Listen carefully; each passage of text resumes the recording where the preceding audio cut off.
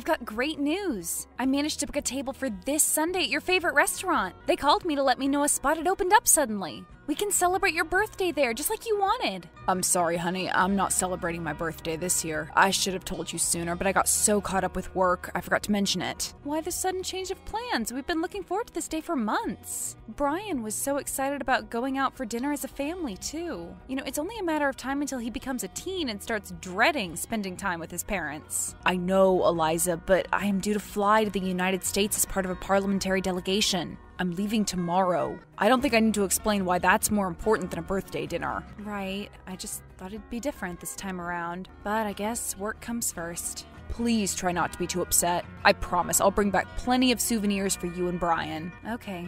Thank you. I love you. I love you too.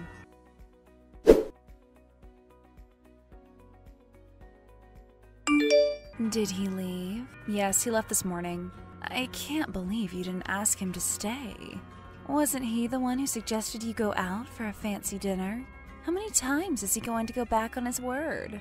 Don't say that, Courtney. He's a busy man. It's not like he's going on a vacation, it's official business. You keep making excuses for him. When is he ever at home anymore? He's at work during birthdays, weddings, funerals. Don't you think he's being unfair to you? I knew what I was getting into when I agreed to marry him. I knew he was full of passion and determination. I knew he was ready to work tirelessly to get to the top of his career, but I didn't mind. If anything, it was the opposite. Back then, I found it endearing. You are allowed to change your mind. Your marriage contract isn't a prison sentence. You can leave anytime you want. You know it's not that simple. Besides, I don't want to give up on our marriage. I love him. Do you mean it? Despite everything he's put you through, has he ever been by your side when you needed him? To this day, I can't forget the desperation in your voice when you called from the hospital that day. I've asked you multiple times to stop bringing that up. I'm sorry, but I can't forget it, and neither should you. You were suffering alone, pleading with him to come to you, and he didn't even bother replying to your texts. Courtney, stop it! He had his phone on mute. What are you trying to accomplish? You're only reopening old wounds. I'm sorry, but seeing my best friend like this, it just breaks my heart. How can you be content with your marriage? How can you say you're in love with a man who's been nothing but cold and dismissive to you? What do you know about my life? You don't know what he's like behind closed doors. He's a loving husband and a caring father. Is he really? Because he seems far from it from what you've told me over the years. I shouldn't have said anything. Why did I think involving a friend in my family affairs was a good idea? I'll learn my lesson and keep things to myself from now on. No, please don't. You can't keep bottling up these negative emotions. It'll only make you feel more miserable in the long term. Didn't you say you felt like a weight was lifted off your chest every time you vented your frustrations? If you no longer wish to speak with me about your issues, perhaps you could find a therapist. You know I can't do that. If the word gets out, Steven's reputation's going to be forever tarnished. I can already see a million different ways his opponents can spin the story. I don't even want to think about the impact it's going to have on Brian's life. Hmm. But how would the word get out? Therapists are required to maintain confidentiality. I'm sure you'll be safe. The fact that they're required to keep things confidential brings me no comfort whatsoever. One thing being married to a politician has taught me is that nothing is ever truly confidential as long as there's a human element involved. Now you just sound paranoid. Last week I found out that our neighbor had a brain tumor. I am sorry to hear that, but what does that have to do with therapy sessions? The family has decided to keep it a secret for the time being. Nobody mentioned it to me, I just found out about it. I see. I don't want to lose your friendship, Courtney. You're the only person, apart from my husband, who I can trust completely. Please try to be a bit more understanding about my situation. And please try to be more supportive of our marriage. Okay, I promise I'll try. I guess his workload's bound to decrease eventually, right? Right. I just thought of something crazy. I don't know if I should tell you, though. I doubt you'd have started if you weren't planning on continuing. Just tell me what it is. You want to get closer to your husband, right? Of course I do. Remember how you said your relationship has started to feel somewhat dull? I do, but hearing you say that somehow makes it seem worse. Well, what if you did something exciting and spontaneous to spice up your marriage? As long as that something isn't inappropriate, you know Brian is a light sleeper. Don't worry, it'll only be as inappropriate as you want it to be. I don't like where this is going. Okay, hear me out. What if you paid him a surprise visit on his birthday? You know which hotel he's staying at, right? Hmm, that's actually not a terrible idea. He's staying here. Is that a veiled insult? What? Never! Anyway, I guess I could ask our nanny to stay overnight, but won't he be confused to see me show up out of nowhere? He's going to be out and about during the day anyway, and he'll probably be exhausted when he returns to the hotel room. He's going to be out of the hotel room all day? That's even better. Why? You can surprise him with an impromptu birthday celebration. He loves surprises, right? Wear a nice dress, get a small cake, and a nice bottle of champagne, and surprise him when he gets back. I can't just pop out of the dark and yell surprise. What if he gets a heart attack or gets so startled he drops something important? Oh my god, Eliza, he's a fit, healthy 35 year old. He'll be fine. I don't know. I don't want to risk it. Besides, aren't surprise parties for fun people in their 20s? I'm not sure I can pull it off. What are you saying? There's no age limit on being a fun loving person. You'll do just fine. I am sure he'll like it. And if he doesn't, if he gets mad at you for putting so much effort into a surprise, maybe you'll see your relationship in a different light. It's true that he always loved my surprises when we were dating. Maybe this could work. But how'd I get into his hotel room without him knowing? I've got an idea, but you're not going to like it. It's mildly illegal. I don't want to do it then. No, listen. I saw the address of the hotel he's staying at. You know I've spent over 15 years in the hospitality industry, right? I can call in a favor and get you the master key. Isn't that dangerous? What if he gets angry and tries to sue the hotel? Sue the hotel? Seriously. Come on, Eliza. They'll manage to survive a lawsuit or two. I'm ready to take full responsibility if things end up going south. Okay, you've convinced me. I'll go and book a ticket. Don't forget to send me updates along the way. I won't.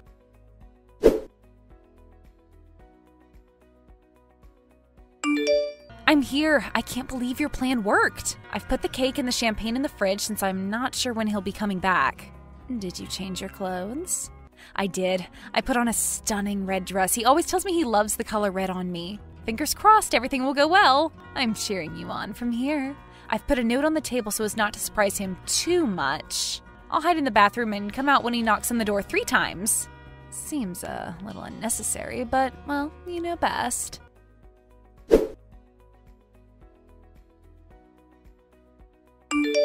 I think he's coming in. I'm so anxious. It'll be fine. Just get ready to wow him. Oh, I don't think he's alone. What do you mean? Isn't it a bit late to host guests? Can you tell who it is? I'm not sure, but she does have a familiar voice. I think I might have heard her on TV once, though right now she doesn't sound as stern. Well, she's probably just one of his colleagues. I don't think they saw the note. They headed straight to the bedroom. I can hear them a bit more clearly now. They sound very cheerful.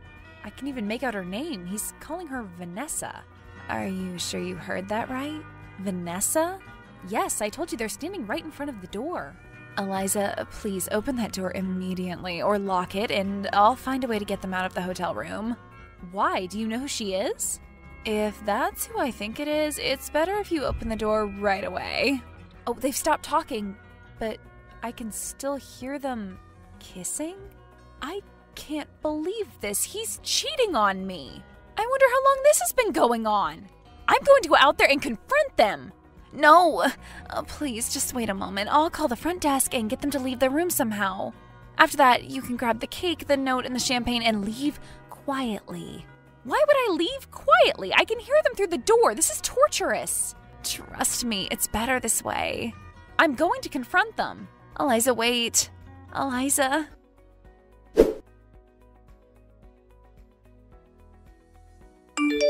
I'm in the laundry room. Why? What happened? I opened the door and confronted him. He looked shocked, and the woman he was with looked as though she was barely suppressing laughter. What a psycho!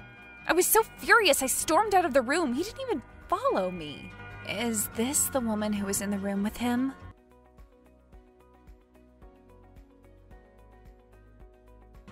Yes, I think so. Her hair looked a little bit different, but it was her. It's just as I thought. The woman your husband was with is his political rival, Vanessa Meyer. What? Are you sure? How come I've never heard of her? I'm positive. She came onto the scene about a year ago and has been working out of the public eye.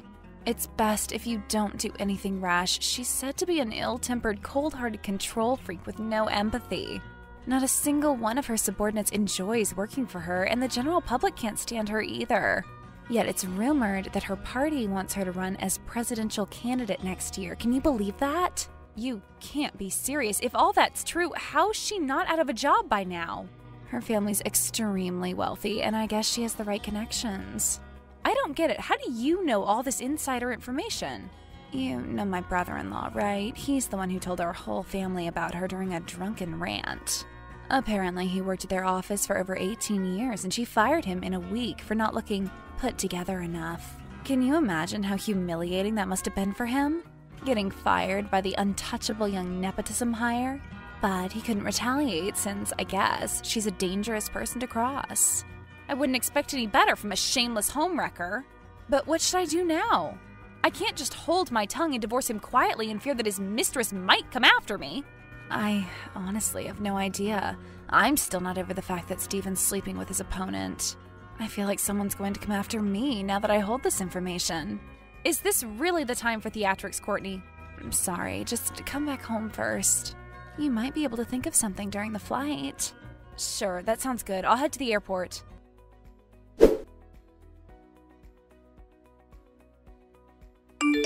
Honey, where are you? Are you still at the hotel? Oh, look who finally decided to look for me. Let me guess, you decided to finish what you'd started, and now you're texting me straight out of the shower? You weren't making any sense, Eliza. What you saw, it was just a misunderstanding. I had no idea you were planning on coming here. How exactly was it a misunderstanding? I caught you red handed. I don't even want to think about what I'd have witnessed if I'd waited a bit longer. You wouldn't have witnessed anything, it was just a kiss, nothing more. Vanessa's an old friend of mine. An old friend you've never brought up in the conversation with your wife? Yes, I've been friends with her since university. We met long before I even met you. I didn't mention her because I thought you might misinterpret our relationship and get jealous. Judging by your reaction, my assumption was right. Are you really trying to pull the wool over my eyes, or have they perhaps updated the definition of the word friend? I'm telling the truth, I swear I haven't laid a finger on her in years. We dated for a few years in our 20s, but since then we've been strictly platonic. So she's your ex girlfriend? How does that make things any better? I am telling you this to illustrate that we clearly didn't work out as a couple. We're both in love with different people now, and neither of us is trying to rekindle the old romance. Great, so you're both cheaters. What a great match. Does her beloved know about her infidelity? Would she be mad if I let him know what she's really like? I really don't think he'd mind since they aren't in a relationship. Even then, he might just not care. Look, Eliza, I'm really putting my life on the line here. Vanessa will kill me if she finds out I told you about her unrequited love. Why? Who is it? I can't risk you contacting him. In fact, that ties perfectly into one of the topics I wanted to touch upon. Could you refrain from disclosing her name in the divorce papers? If you want to get a divorce, that is. Personally, I believe we can still work through this. In what world do please don't tarnish my mistress's reputation and let's reconsider the divorce belong next to one another? If you think I'm scared of you or that wicked witch, you're gravely mistaken. Please don't insult her. She's one of the brightest, kindest, and most genuine people I've ever had the pleasure of knowing. She helped me pick out our anniversary gifts, she helped me pay off the mortgage on our house. She introduced me to the people who'd be crucial to the advancement of my political career. I was even thinking of introducing you to one another in the near future. I knew you'd get along well. You can't drag her name through the mud because of a little misunderstanding. Oh, I'm sure knowing her has been quite a pleasure. I hate knowing you're typing out these outrageous words calmly when I'm struggling to see the letters through my tears. I hate that you're reading my desperate words with the same blank look you get when you stand behind a podium and orate about humility and compassion. I hate you, Stephen. I'm sorry, but I really do. I know you don't mean that. You're just saying that in the heat of the moment. Listen, Eliza, we've been married for almost a decade. Think about all we've built together. Think of Brian and his future. Why does he have to suffer for the mistakes of his parents? Mistakes of his parents? God, you've no conscience, do you? Are you going to start listing every single flaw you've found in me over the years? Every little mistake of mine? I just want you to grasp the full gravity of the situation. You're destroying our family over a kiss that meant nothing to either party. We were just exchanging pleasantries and got caught up in the moment. It might as well have been a handshake or a hug. Vanessa's like a sister to me. Well, if that's how you think one should treat their siblings, I am very glad you're an only child. You know that's not what I meant. Stephen, what I saw in the hotel room isn't the only reason I'm asking for a divorce. The truth is, there are years of pent up frustration and resentment that's been festering inside of me. And what happened today was the last straw. Why didn't you tell me earlier? We could have figured something out. When was I supposed to tell you? Did you ever try to make me feel like I could share my feelings and emotions freely without being dismissed half heartedly because you had more important matters to tend to? Well, how was I supposed to know what you've been holding back? I thought you were happy with your life. Whatever you desired vacations, properties, designer items I went out of my way to attain. I am sorry I don't have the time to listen to you pouring your heart out when I return from a 14 hour workday, but that just comes with the job. Those long hours are part of the deal. You knew what you were getting yourself into, so why are you shifting the full blame on me? Do you think I enjoy spending holidays away from my wife and son? Do you think I wasn't devastated when I finally checked my phone and saw your messages that day? Do you sincerely believe the reason I missed Brian's big play was that I preferred listening to some guy babbling about the crime rate going up because someone had spray painted their initials on a park bench? I am working day and night because I believe in time the work I'm doing can benefit not just the three of us, but the whole country. Please stop. It's too much. It's too late for us. Our relationship, it'll never get better, nor will it ever be the same. So, this is final. You really want us to get a divorce? I need some time. Once I get home, I'll think everything over and let you know what I've decided. I understand. Please know that I really do love you. And please think about what I said about Vanessa. She already has a lot on her plate. She doesn't deserve to be punished for trying to cheer me up. You really can't let us end on a good note, can you? Fine, I'll think about it, but I can't promise anything.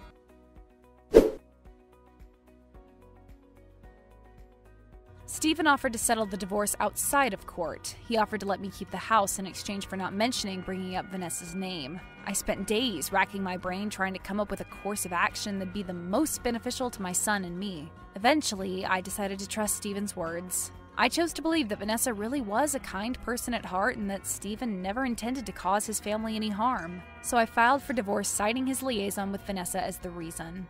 I didn't really have much evidence other than some texts. I was so enraged I completely forgotten about collecting evidence. Luckily, Stephen corroborated my account of the day, though he still insisted it was just a kiss and it was a one off mistake. It's been five years since that day, and Brian and I are still here, safe and sound. Perhaps I was afraid for no reason after all. In the middle of our divorce proceedings, Vanessa left her party just as quietly as she joined it. I heard she quit politics and moved to the US. I can't say that I'm surprised, even if she wasn't guilty in the eyes of the law. Word tends to get around quickly in our small country, and people aren't too fond of homewreckers. Stephen was also forced to resign amidst the divorce, but I suppose it was more a pre election gimmick than anything else, since two years later he was able to return to his job in a less public role. He was upset that I'd publicly shamed his dear friend, but he got over it fairly quickly since Vanessa herself refused to take any action, legal or not, against me. In order to better co parent Brian, Stephen and I started attending post divorce counseling sessions. It's still a long way to go, but I think it's helped us be more amiable with one another. Right now, we're just trying to be good parents to our son.